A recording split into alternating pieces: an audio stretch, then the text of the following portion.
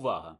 Важливе повідомлення. Микола Тищенко, напевне, йде до Збройних сил України. І мобілізується він туди добровільно. Скидає з себе депутатський мандат, бронь і, напевне, піде воювати. Чому? Все дуже просто. Справа в тому, що про це сказав сам Микола. Правда, сказав це завуальовано. Ну ми ж е, знаємо, що наші депутати ніколи прямо не кажуть, вони завжди роблять це завуальовано. Давайте послухаємо пана Тищенка. з корупцією ми будемо боротися нашої перемоги.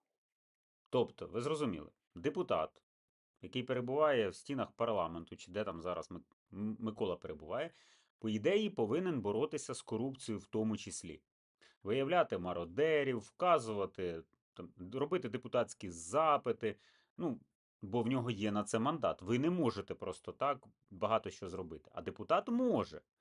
Ну, депутат каже, що я почув президента, я почув, зараз він ще скаже голову Офісу президента. Ну тут треба, тому що Микита, е, Ми- Микола зараз перебуває там, де він не хоче перебувати. Ну і плюс Андрій Борисович, як 95-й квартал показував кум е, Миколи. І ось е, Микола каже, що зараз не до корупції. Тому давайте дослухаємо. Саме про це сказав офісу президента, що корупція не головне, головне сьогодні перемога.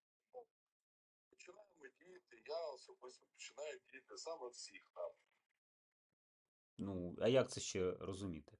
Якщо ти не борешся з корупцією, як депутат, якщо ти не займаєшся тим, щоб посилити Збройні сили, якщо ти не бачиш, це головне, не подиміть мені віки, якщо ти не бачиш зв'язку між корупцією і а, обороноздатністю країни, і дійсно пристаєш на думку, що корупція це не головне, а головне перемога, і кажеш, я починаю діяти у відповідному напрямі, то який висновок? Висновок, що е, наш з вами герой йде до Збройних сил України. А який ви ще висновок бачите? А що ще буде робити народний депутат, який вже прийняв ідею, що корупція не головне, корупція ніяк не, не пов'язана з обороноздатністю, корупція нічого не руйнує в нашій країні. Головне перемога.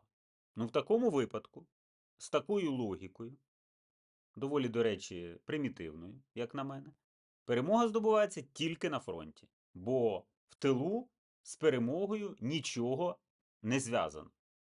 Чому нічого? Тому що корупція, яка покриває багато процесів, це не важливо. Ну, тоді залишається фронт. Як ви думаєте, ми побачимо Миколу Тищенка на передовій?